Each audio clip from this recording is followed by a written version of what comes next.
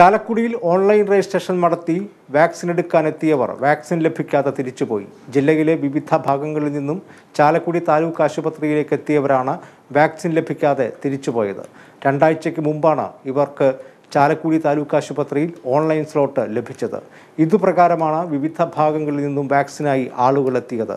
Ward councillor V J ജോജിയുടെ ഇടപെടലിനെ തുടർന്ന് ഡിസ്ട്രിക്ട് പ്രോഗ്രാം മാനേജർ ആവശ്യമായ വാക്സിൻ ലഭ്യമാക്കാൻ സൗകര്യമൊരുക്കിയെങ്കിലും വാക്സിൻ എത്തിയത് ഉച്ചയോടെയാണ്. ഇന്ന് വാക്സിൻ ലഭിക്കാത്തവർക്ക് മറ്റൊരു ദിവസം വാക്സിൻ നൽകും. അതായത് ആഴ്ചകളോളം മാസങ്ങളോളം വാക്സിന് വേണ്ടി നിരന്തരമായിട്ട് കമ്പ്യൂട്ടറിന്റെ മുന്നിലിരുന്ന് രജിസ്ട്രേഷൻ സ്വീകരിച്ചിട്ടുള്ള ആൾക്കാരാണ് ഈ കാണുന്നവരെല്ലാവരും.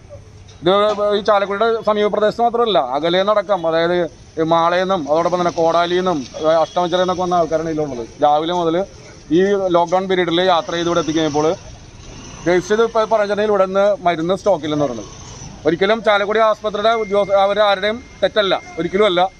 ജില്ലയിലുള്ള ഇതിന് നേതൃത്വം വഹിക്കുന്ന ഡി പി എം അടക്കമുള്ളവരുടെ വീഴ്ചയാണിത് ചാലക്കുടിയിലേക്ക് എല്ലാ കാലത്തും അതായത് നമ്മളിത് നിരന്തരമായിട്ട് ആവശ്യം പറഞ്ഞുകൊണ്ടിരിക്കുന്നതാണ് ചാലക്കുടി സർക്കാർ ആസ്പത്രിയിലേക്ക് ആവശ്യമായിട്ടുള്ള വാക്സിൻ ഒരു സമയത്തും കൊടുക്കണില്ല.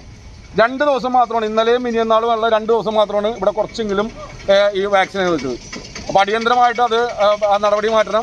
ഇവിടേക്ക് ആവശ്യമായിട്ടുള്ള വാക്സിൻ വിതരണം ചെയ്യാനുള്ള നടപടി സ്വീകരിക്കണം. ചാലക്കുടി അതോ- അതോടൊപ്പം തന്നെ ചാലക്കുടി നഗരസഭാ അതിർത്തിയിൽ ഉള്ളവർക്കും വാക്സിൻ കിട്ടാനുള്ള നടപടി സ്വീകരിക്കണം. ലോകോത്തര ബ്രാൻഡുകളുടെ ഗൃഹോപകരണങ്ങളും ഡിജിറ്റൽ ഉൽപ്പന്നങ്ങളുമായി മുപ്പത്തിരണ്ട് വർഷത്തെ പാരമ്പര്യത്തോടെ തൃശൂരിന്റെ സ്വന്തം വേണൂസ് ഡിജിറ്റൽ ആർക്കേഡ്.